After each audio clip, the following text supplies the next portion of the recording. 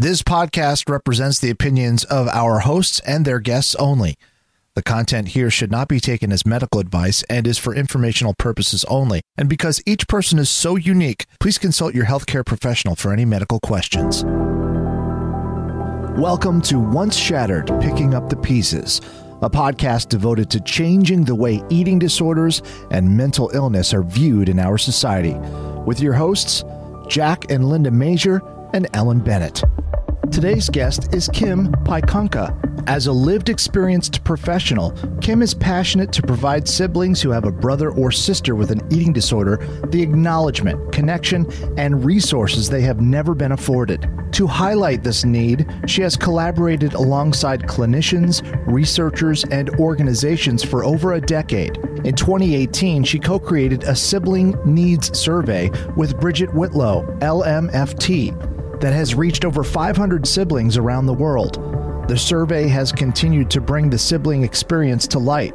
That same year, KymAdvocates.com was created to allow a space for siblings to share their experiences, stories, and perspectives. Along with these incredible interviews, Kym has had the privilege to educate and support hundreds of siblings and parents, which has led to the Sibling Support Series. Based on the series' feedback, she is developing a course for parents and siblings. Stay tuned. Kym currently serves as a community advisor for EQUIP and co chair for the Academy for Eating Disorders Expert by Experience Committee. The links for today's show and for our hosts will be in the show notes. Welcome, everyone. So glad you could join us today. Kym will be with us in just a moment, but in the meantime, I'd like to introduce my co hosts, my soulmate, and my best friend, Jack Mazur. Hello, Linda. Hello, everyone. Thank you for joining us today. And This the one, oh, go ahead, Oh, sorry. This is going to be a fabulous, fabulous interview. Absolutely. And I'd also like to introduce our dear friend and fellow eating disorder and mental health advocate, Ms. Ellen Bennett. Hello again. So excited. We're going to have a great conversation. Very important conversation for sure. So I always like to start for a, with a quote, and my quote for this episode is A child whose behavior pushes you away is a child who needs connection more than anything else. And that is a quote by Kelly Bartlett. What do you guys think? Yeah, I think it's uh, a child who pushes you away is, is a child that's that's asking for help. I think they, but they don't know. Maybe they don't know how, but I think they're they just need help. Um, You can't put it into words. Can't put it into words. Yeah. True, true, true, true, true. That everybody should have that quote in their mind all the time.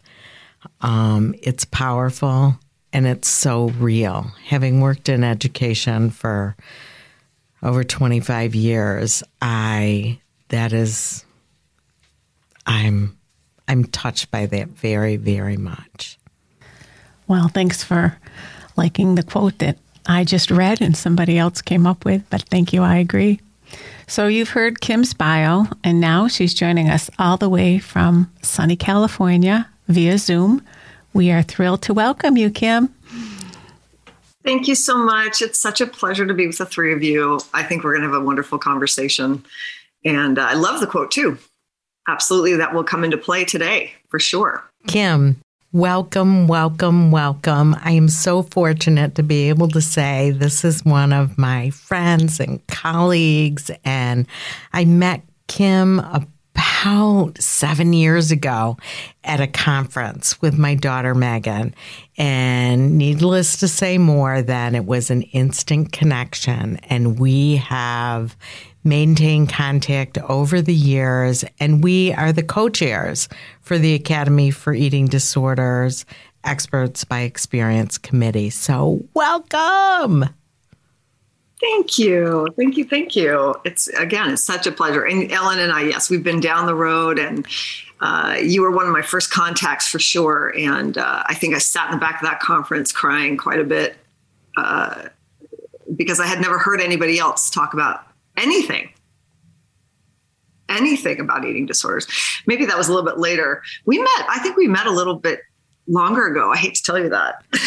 Was it eight years? It could be eight. I couldn't quite. Um, but Megan and I were really, really new to having lost our Katie.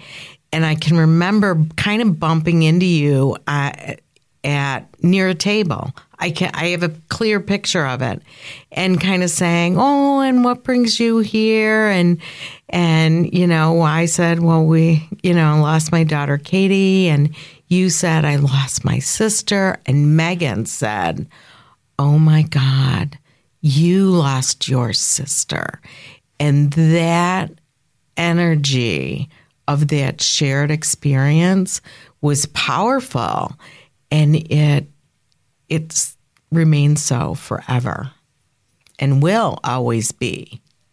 Absolutely. Really precious moments for me to meet siblings like that. And when i talk to siblings or work with them it's always the same pardon me. It's always the same. Just this breath of oh my gosh there's someone else that gets it. Mm-hmm. somebody else that understands.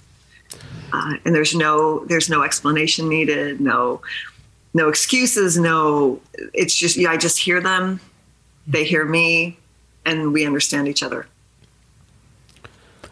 So this first question is a, about about your sister, and you know your sister struggled with an eating disorder, and I understand you and your sister were very close growing up. So can you share more about your family and your relationship with your sister before she developed the eating disorder? Yeah, um, my parents are Ron and Jeannie, and they are now uh, married almost. I was thinking about this. I think over 60 years. So we've been, uh, yeah. So there's been they're they're fabulous people, and I have an older brother who's eight years older than myself, and my sister Casey was two years younger than me, roughly, a little bit less. Uh, and yes, Casey and I were inseparable when we were little. I was thinking about it. was a lovely way to think about her uh, recently. We she was my very first memory. Bringing her home, we were both adopted, and I remember the day we brought her home. And uh, my brother Tom was um, definitely the guy who taught me to swim, to ski. He was I, if, my, if my brother did it, I did it. He was just everything to me. I, I adored him. And so when we brought Casey home, she was going to be that for me. I was so excited to be a big sister and um, she was darling and I loved her. And I was a preemie, so she was bigger than me. so my, I wanted to hold her a lot, but I couldn't. And I was frustrated that I couldn't t- carry her around and take care of her. And just, I adored her. And we had a lot of fun. We were best buddies for sure. We're very different people. My sister was into um, what I call girly stuff, you know, dressing up and makeup. And I was definitely putting my Barbies out into safari and let's go out and have an adventure. We're totally different people. Uh, but we got along and complimented one another quite a bit. Um, and that was, I think, the hardest part for me in the beginning. Well, through the whole experience of her eating disorder was just missing that connection, missing her. And uh, when the eating disorder took her over, I was the first one that noticed it because I, she was missing. I didn't mm. recognize the person I was looking at, and I saw it occur over, you know, over time. But I was so little that I did not have the language to express what exactly I was witnessing. No depth or breadth of experience to, to pull from. And of course, never saw anything like um, it wasn't really her behaviors yet. I knew what bulimia was, but those weren't. That wasn't what I saw. It was her her person that changed. It was her personality. It was her, our connection, her aggression, like this anger that started building up, and a deep, deep sadness. And so I would say to my mom, "I think Casey's sad." That's all I knew what to say. I think Casey's sad. And of course, she'd look over at her, and my sister would be laughing or playing. And she'd say, No, she's all right she's okay, honey. It's all right. Don't worry about it. And I knew in my gut, uh, this isn't right. And so that's how that began. But yes, she was absolutely darling and, of course, a lovely person. She was a troublemaker, too, though. Let's not get that. Let's get that My sister was a troublemaker, and we absolutely fought. Um, I have sisters and brothers ask me, Is it okay that we fight? is it okay that we don't always get along? And, you know, I want to put it out there. Absolutely. That's incredibly normal. And uh, there's nothing wrong with what you're doing. Of course, you're going to get angry at them here and there. Mm-hmm. Uh, siblings are powerful relationships. Um, can you expand a little bit as as the years kind of progressed and you saw behaviors change and you were concerned and it was hard to get other people to say to understand that this is scary. Something's not right. One of the things that was challenging pardon me. One of the things that was challenging from for my storyline was that my sister a lot of times you'll hear storylines with anorexia and the weight comes off and that's what people notice. My sister was in a bigger body and my sister was bulimic. So her personality shifted there was aggression there was anger she was unhappy with how she looked she she went through puberty and it got worse um, and there wasn't really one thing that I could say stuck out. It was really her temperament that changed. And I shared a room with her, so uh, in a bathroom with her. I knew, you know, I was with her. I saw her all the time. And I was concerned about the shift in her. Looking back, it's very evident my sister had binge eating disorder quite young. But of course, that doesn't garner attention because it's not dramatic. It's not a scary um, weight loss or something of that nature. Um, and she would use techniques to normalize it. For example, cooking for me and making meals and doing things around food. And for a while, it was cute. And then it became odd. And there was something, there was an energy behind it that I picked up on, and I was uncomfortable with it. And then when she got into high school, uh, and she spoke very clearly. Someone taught her how to be become bulimic.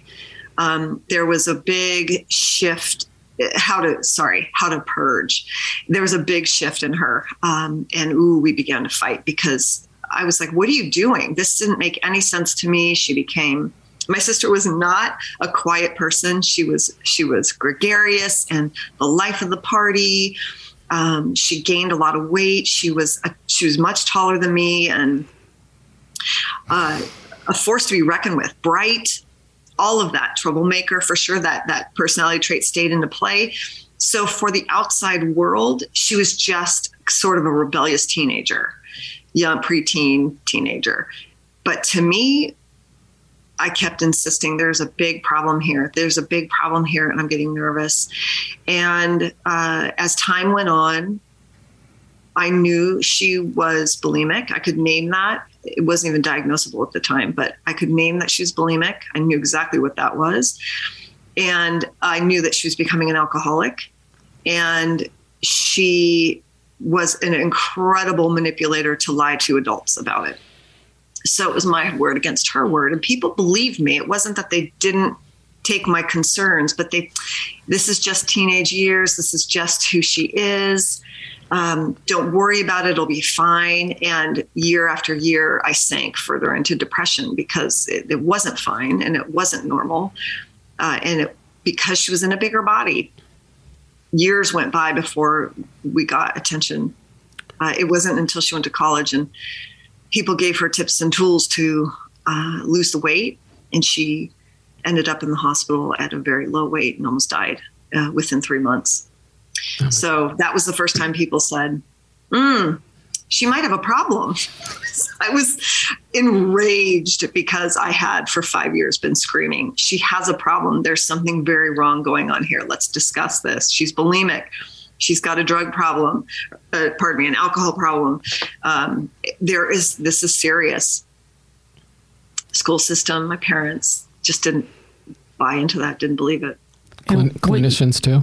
Were there doctors that were saying, don't worry about No doctor said anything to her. Nothing came up that way. Lose weight is what they were told her. Mm. so what de- what decade was this that this was in well it got serious, I would say, in 1980, in the 80s, in the mm-hmm. 80s. Okay. Mm-hmm.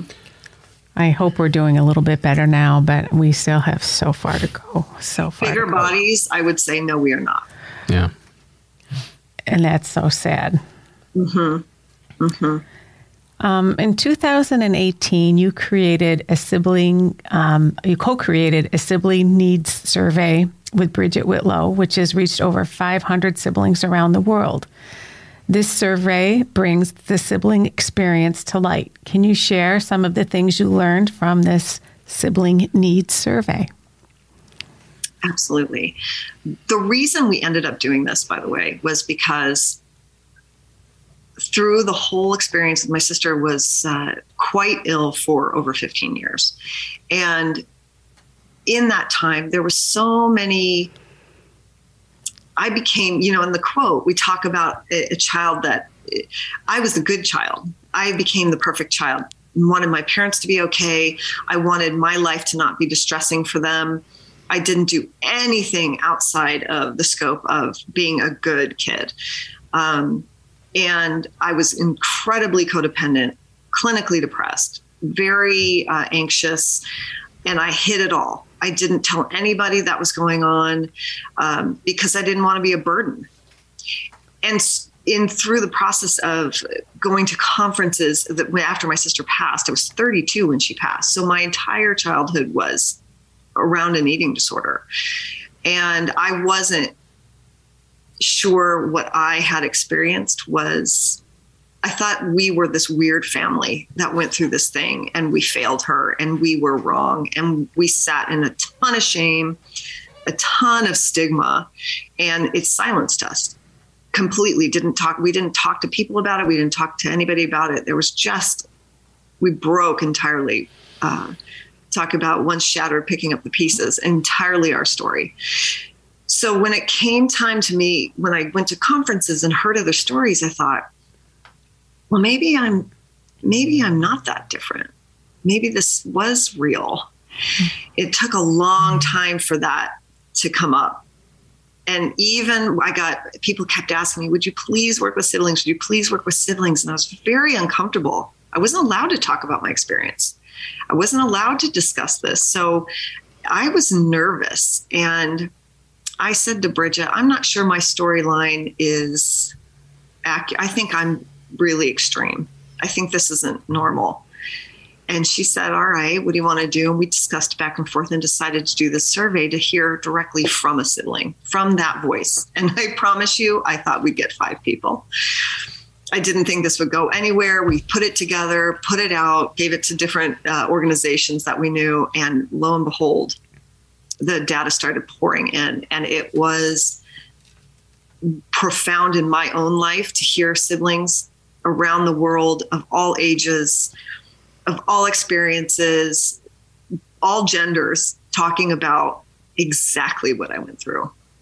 It didn't matter if they were anorexic or binge eating disorder, bulimic. It didn't matter if it was short or long term, severe and enduring. There was definite themes that emerged and they were uh, significant significant. We kept it up for quite a while because siblings said we are so thrilled that somebody's asked us. You're it. You're the only people that have ever asked us. And of course the 50 60 and 70 year olds that answered broke my heart because they said no one ever thought to see how we were doing through this process so um, the themes that really emerged were siblings definitely wanted to be acknowledged. This is something that impacts us too. We are part of the family. If you say family, mean family. Include us in the discussion. Um, acknowledge that this is hard, that we have our own issues, that we don't experience it like parents. Please acknowledge that um, we might have things going on in our own lives, that we miss you, painful, you know, very, very heartbreaking comments. Um, and it was very evident that siblings loved their sister and brother, loved their parents, and wanted to be there, but they needed support. They needed their own support. They wanted education. Education was another big one. Please tell us what's going on what is an eating disorder? What is this going on? Uh, if there's co-occurring issues, please don't ignore them. Don't don't leave me out of the conversation. Um, so education, communication, support, and acknowledgement. that was those were the real big ones that came out and over time i i received many many i've talked to hundreds of siblings and parents over over the years. And um, another one that really i think it culminates down to kids especially if it happens younger kids don't have language to explain what happened. And they don't have emotional language to say i'm fe- this is very difficult mom and dad. They don't know how to express their emotions. They don't they're afraid of their feelings um, and it can be very frightening for them because they're not able to access they can't express themselves. And it can get that can become a problem in and of itself uh, because there's guilt over anger for example. So you said people in their 50s and 60s were part of the survey how um, what was the youngest age group nine nine Mm-hmm. And it was anonymous, and we had no way of contacting them at all. So it was anon- uh, totally anonymous. Uh, so it was nine to 70 years of age and everything in between. Well, thank you for doing that because these people just wanted to be recognized and, you know, understood that they were um, suffering too and suffering in silence. So. And the wonderful thing about that, it, it, really highlighted research that has been done. There's very little research that's been done on siblings and the impact on them. What's been done is do siblings help in in recovery or not? And most of that was people in hospitals, uh, mostly uh, siblings of an anorexic uh, female a lot of cisgender, a lot of the stereotypes, right? Mm-hmm. So we wanted to include every voice, but it really the same things are coming out if they, on the studies of impact. And I I connect with um, I've connected with Don Meyer, who is the sibling expert for disabilities, and the, their research shows the very same thing. These are not you know this is kind of common sense in, in many respects. Right. Uh, it's just highlighting it to show the need. Right. There's something so healing about finding a village of support or a community of support and that you can talk about those things with, and you don't have to worry about boring somebody or having somebody roll their eyes. You know, just need people who get it. I think it's wonderful that you've done this. Absolutely. Thank you. And I just want to highlight for those who have lost somebody and twins, I want to highlight these two populations real quick first of all, siblings are not just young kids. They grow up and they're severe and enduring, and you go through weddings. I get calls about, oh my gosh, my wedding's coming up. What's going to happen? I'm so afraid. weddings and, and having kids and getting, you know, your life big life moments happen and you're still coping with somebody who might have an eating disorder and as as we never in the eating disorder field talk about the sibling who is now uh, 40 50 and taking care of maybe an adult sibling who has children so they are the aunt who has, or the uncle who has to care for the children, as well as their sick sibling and possibly their parents. So they are sandwiched and in, and need so much support but don't even have a voice yet. They don't even have, it's not even acknowledged that they may even be going through something. Twins suffer quite a bit, uh, especially with language, for example. Um, and people just, I, I think we just don't think about this, right? I remember my first twin contacting me and saying, hysterical, like unable to breathe practically, saying, My sister is so sick and they keep saying it's genetic. When am I going to get sick? language being so critical in what we're telling younger kids. Um, thinking that's such a great, oh, it's a genetic illness, and we're all so thrilled about that. But if you are 14 hearing that and you're the twin of somebody, that's a terrifying statement. So, being very cautious about the language we use. Siblings are not adult parents, you know, they're not coming from the same perspective. Uh, and then those who've lost a sibling, um, so much grief happens prior to the death. Mm-hmm. I missed my sister. I would just, my, I, I lived in anger because I couldn't tolerate, I now know I couldn't tolerate the grief, right? I just could not tolerate this, the grief I felt on a daily basis. So I missed her for 15 years. And then when she died, I lost hope. And that was really the grief when she actually passed. It was like, I'll never it's mm. over. In one set, I fought for 15. I, what? I had no words to express what having it end so sharply meant. No support groups, nobody in the field that did anything on that. There was no place to go. I felt, I just fell apart. I, I mean, PTSD and trauma, that was massive trauma um, in the making, I think, for a long time. But absolutely, people um, are traumatized by these events, and there really isn't enough in our field. Um, to help people in these in these really painful and um, devastating times. How was your brother Tom? How did he do? You know, interestingly, we fit right into siblings are different people. he was eight years older than me, 10 than my sister. So he was out of the house when a lot of the things went down. He didn't see her behaviors. He was living in a different state. And so we have very, very different experiences going through this.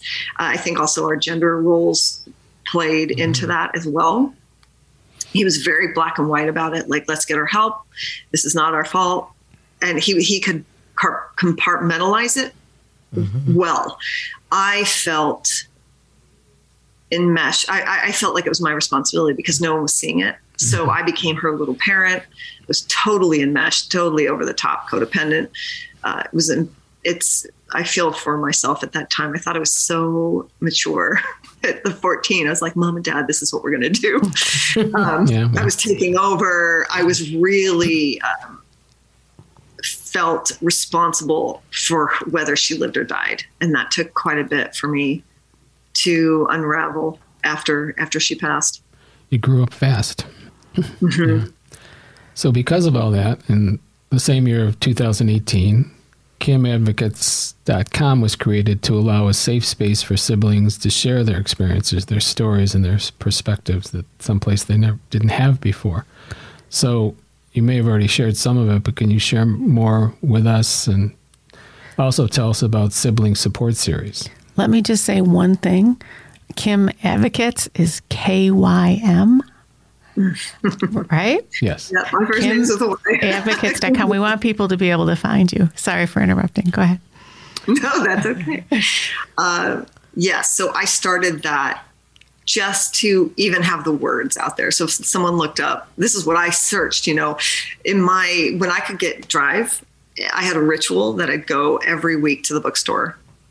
Internet didn't exist yet, and look for something that said sibling or bulimia, anything. I, I would cross my fingers. I could tell you the what the bookshelves look like eh, in color. I knew every book on the shelf, and I never found it. Never. So when I started this website, all I really wanted was people to be able to find something and said, "Yes, your experience is real." And two, if you want to share your experience, let's share with each other so that we don't feel alone. And every voice matters. You know, if you found great you you found recovery with your sister or brother. If it went really well i want to hear that. If it didn't go well i want to hear that. Anything you have to say it there's no judgment here. And i deeply needed that. I deeply wanted to do that. What i learned very quickly is that siblings are not allowed to share that information. There's this rule of it's not your story to tell. And siblings would contact me and say i want to do this but I can't be, I can't do a video. I can't use my real name. I don't know if I should do this. And they got nervous. So what happened was that only siblings who had lost somebody would be willing to talk. Mm. Or they had a very, very good relationship with their sister or brother and got permission. So it became challenging to get those voices out there. And I'm working on that a bit uh, because I think we all shared the storyline. It's all, we're impacted entirely as a family independently, and there's no shame in telling the story. There's no, there shouldn't be stigma. We're helping each other with these stories. It's never been about making the person with the eating disorder feel bad or making parents feel guilty. It's always been about providing siblings just that. Uh, I, in my mind, I sort of think of a big hug that they need mm-hmm. to go. Mm-hmm. This matters too. Your voice matters too. This impact matters to you as well. So that's when we did this survey because I was like, well, maybe I'm wrong maybe people don't want to hear this, but they absolutely do. And one of the biggest things they asked for was just to talk to siblings. They wanted, you know, there's a there's this guilt that comes if you talk to a parent you sort of censor yourself because you never want them to feel bad. And so they want to talk to siblings so that they can just vent it out and say what they need to say without worrying about hurting someone in their family. And um, that's how the groups, that's how I started the groups. Um, and I know how deeply scary that can be to come forward. And it really showed in the sibling series. Siblings signed up, they were excited. I got people going, and then people wouldn't show up. I'm too afraid. This is too scary. I don't know if I should say anything. So that's I, am working with the sibling population to help them move forward and feel free to um, tell their story and know that their story is important and they matter just as much as everybody else. It's okay. It's okay to to share your your hurt and your pain and your um, needs. It's a big deal, though. Yeah. So I'm I'm constantly developing, and I think the best way is to get uh, people involved through courses and anonymous at first, so that they start learning about what is the sibling experience. Do other people share the same feelings I have? What are my feelings? how do I tell my story? I'm not even sure I know how. Um, is it okay to be angry? That's a big one. Um, and um, I feel guilty for feeling angry. You know, the anger is a big, uh, a big sticky point for siblings. So just giving permission. It's allowed. You're allowed to feel anything you want to feel. You're not a bad person. It's okay to be angry. It's okay to feel scared and hurt and sad. And let's talk about what those feelings are. It's complicated, very yeah. complex. And I'm sure many of them um, worried about their parents. I mean, they were certainly worried about the the person suffering with the eating disorder, but what it was doing to the parents and their relationship. And I know Matthew was so worried about us when we were going through everything with Emilee, and um, you know, he loved us, he loved Emilee, but he got angry, you know, at uh, yeah. what was happening and what was, yeah. Very I mean, complicated for everyone. Absolutely. It's, and that's common, by the way, that whole protection of your parents. That's why I became good.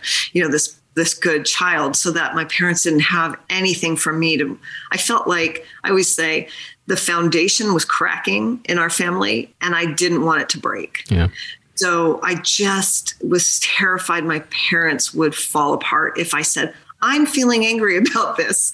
you know, I'm so worried about them. Absolutely. Um, so, one of the things you can definitely do is say, I'm going to be okay. You'll see me cry. You'll see me get angry. You'll see me have feelings. And those are normal because you're modeling. You're modeling for them. It, it's okay. It's such an important conversation to have. I know one of the gifts that you gave me was just acknowledging that that sibling experience is is really important and it definitely changed how I um, communicated with Megan and really said, "Hey, Meg, you know, I realized that you you had a really tough path for a multitude of reasons based on all the complexities. And I do remember her saying something following Katie's death. And she said, Mom, no one ever asks how I'm doing. Powerful, powerful statement to really be, oh, and it was true.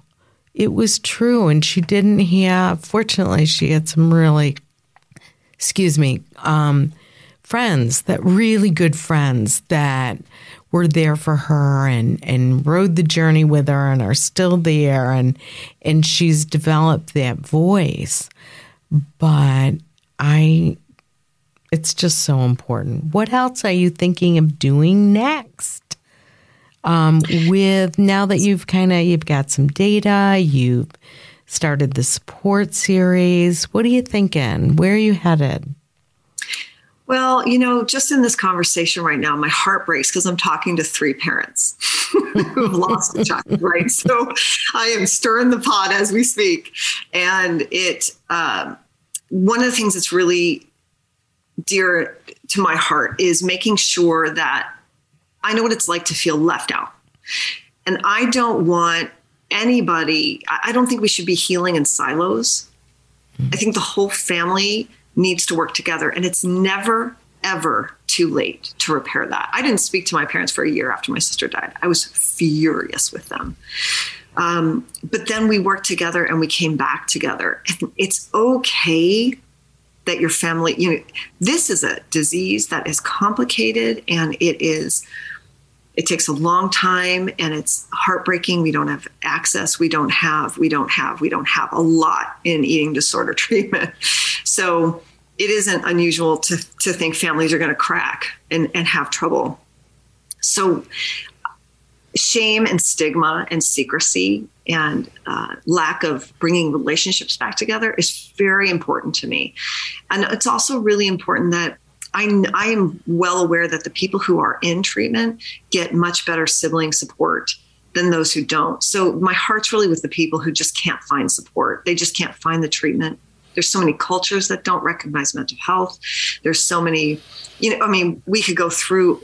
I am a, a, a cis white privileged person that had, my parents had money to try to get my sister help.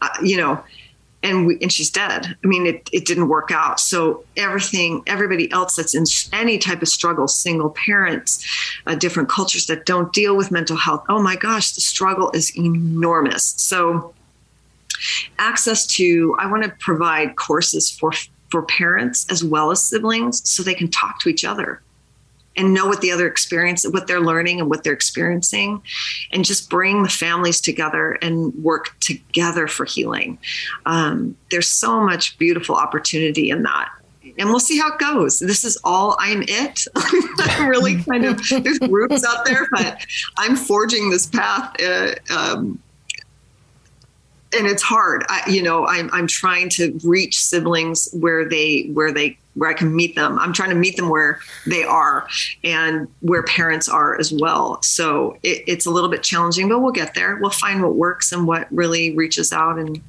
and resonates with them. So they're not. I'm not giving up at all. Not even close. Well, I think the floodgates are going to open. So uh, just be prepared. um, Kym, you currently serve as a community advisor for EQUIP and co chair for the Academy for Eating Disorders Expert by Experience Committee.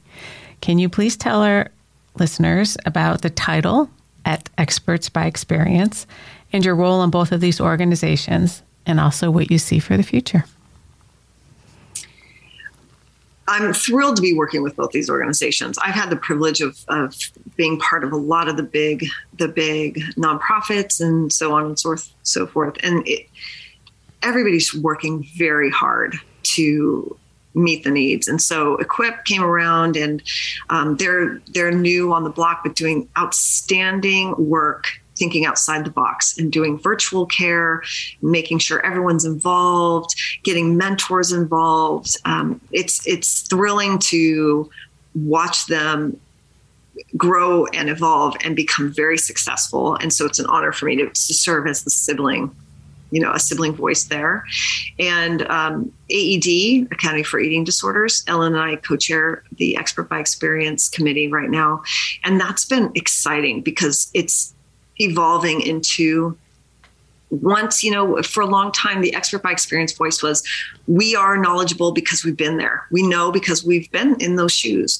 But now we're taking that a little bit more and going how do we partner with professionals so that story and data come together to really help the world our societies understand what an eating disorder is and the needs? And we're i think you're referring expert by experience. We have looked into the words of lived experience professional because for, for those of us like ourselves sitting here, we're taking that expertise just a bit further and removing it from our own storyline and helping, for example, my story, if it enhances help for siblings, that's one thing. You know, that's great. But I'm really looking to help the sibling voice and get siblings up and running. I'd love to to bring siblings more into my work and and and create a professional role for them. So it's just a little bit different. Expert by experience can support each other, be there for each other. It's a it's just language. It's just taking the the it one step up a little further ahead. I hope some of the um, things you're um, working with, the surveys and KymAdvocates.com and, and the experts by experience disseminates down all those stories and all those things disseminate down to the insurance industry too, because they need to understand that, you know, I mean, these, these stories and these families, and again, you know, every 52 minutes, somebody's dying from the effects of an eating disorder, and they need to understand um, what that effect has on on families. And you know, they have such compassion for, and rightfully so, for you know everybody with cancer and and other you know, terrible diseases. But it's just like this is the the silent disease out there. Uh, Cindy Bulik calls it the the redheaded stepchild. The redheaded stepchild. You know?